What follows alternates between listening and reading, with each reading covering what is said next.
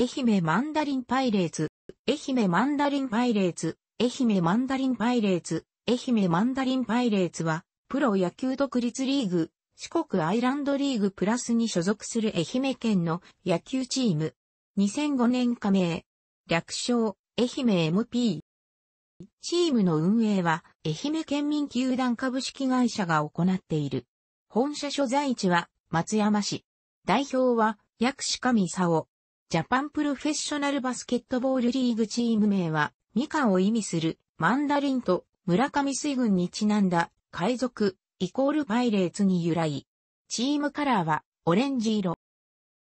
ホームスタジアムは松山中央公園野球場、松山坊ちゃんスタジアムを使用する。2007年のシーズンからは経費削減のため、年によってはサブグラウンドであるマドンナスタジアムでも公式戦開催している。2008年は開催なし。それ以外に四国中央市、新居浜市、西条市、西予市、今治市、大須市、宇和島市、愛南町、伊予市、上島町、粋名島、内子町の球場で開催されている。坊ちゃんスタジアムでは、リーグ創設以来2011年までは、毎年10試合前後が開催され、2010年、8試合。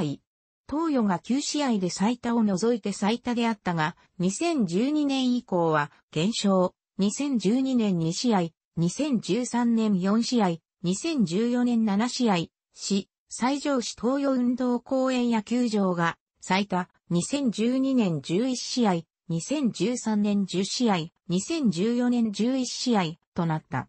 2015年は坊ちゃんが11試合、宇和島7試合、東洋4試合と4年ぶりに最多開催となり、初出場となるグランドチャンピオンシップも坊ちゃんで実施された。2016年以降も坊ちゃんが最多の公式戦を実施している。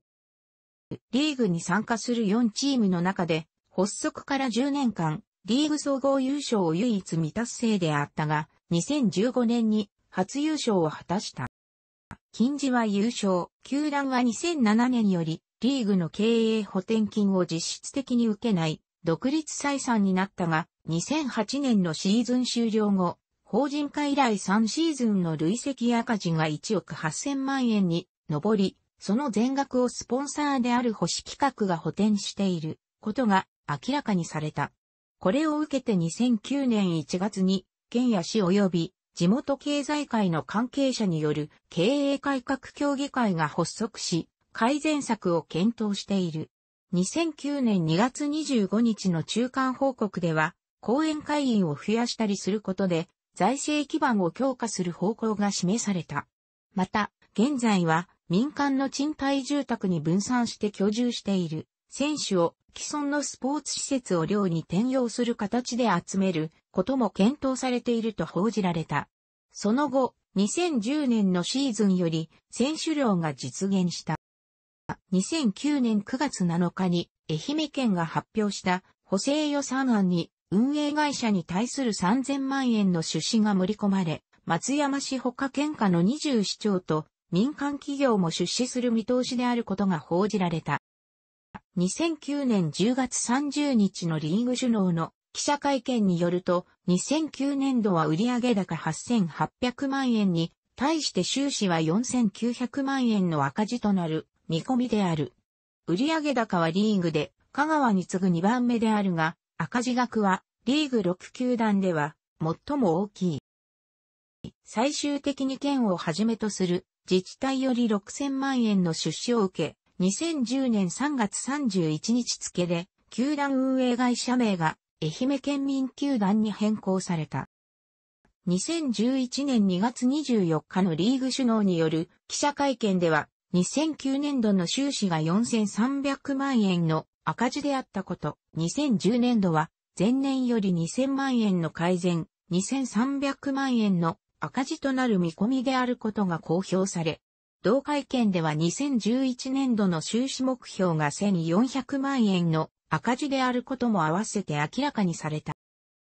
2013年2月15日、愛媛県民球団は2012年度の決算について、経常損益が160万円の黒字となりチームの独立採算制移行以来初の黒字決算となると発表した。スポンサー収入が前年比で1800万円増加したことに加え、県の緊急雇用対策による補助金も寄与したと報じられている。当初予定より1年早い達成で、リーグで単年度黒字となる球団は2011年度のコーチに続き2球団目である。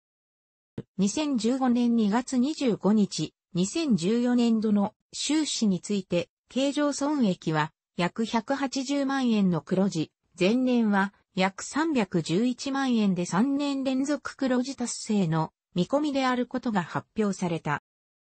2016年3月31日にリーグが発表した2015年度の決算では、経常損益が216万円の黒字となり、4年連続で黒字達成となった。スポンサー数は前年の122から209に増加した。2017年2月20日に発表された2016年度の決算では、経常損益が250万円の黒字となり、黒字決算は5年連続となった。マスコットキャラクターは、みかんの顔に水軍をイメージした甲冑姿をしており、名前はマッピー。ホームゲームでは着ぐるみも登場する。球団では以前着ぐるみが依頼に応じて幼稚園や保育園に出向くサービスを行っていたことがあるほか、マッピー体操というオリジナルの体操があり、以前は球団ホームページで振り付けが紹介されていた。2015年8月には、愛媛のローカルアイドル姫キュンフルーツ館の歌う、マッピーのテーマソング、ハッピーマッピーがリリースされている。2011年シーズンからは、29番目の選手、当時、愛媛の支配下保有選手は28人だったという、触れ込みの覆面キャラクター、マスクマンが新たに加わり、ブログも設けられていたが、2013年3月、限りで引退した。マスクマンを演じていたのは、元選手、2005年から2008年で2013年3月まで、球団職員を務めた、福西太氏である。2015年4月28日の試合には、マスクマンの意志を継ぐものという触れ込みで極真空手を習得した極真マスクマンが登場した。2015年10月11日、ボッチャンスタジアムで行われた新潟アルビレックスベースボールクラブとのグランドチャンピオンシップ第4戦では、始球式のゲストとして福西が招かれ、新潟にも、戦として在籍経験があるため、試合中にマスクマンが2年ぶりに登場した。翌10月12日に開催された第5戦には、マスクマンと極真マスクマンが揃って登場している。2016年11月30日、愛媛球団はファンのためのマスコットキャラクターを公募すると発表した。応援歌に愛媛県出身のアーティスト、ジャパハリネットなどが集結して作られたビクトリーがある。私設応援団は愛友会である。基本的に走れコウタロー、コンバットマーチ、狙い撃ちなど高校野球の応援でも耳にする既存曲を選手の応援歌に使用している。2016年シーズンに球団は松山市在住の女子大学生3人による応援隊マンダリンラブズを結成、広報活動などに起用している。選手、指導者については、愛媛マンダリンパイレーツの選手一覧を参照。楽しくご覧になりましたら、購読と良いです。クリックしてください。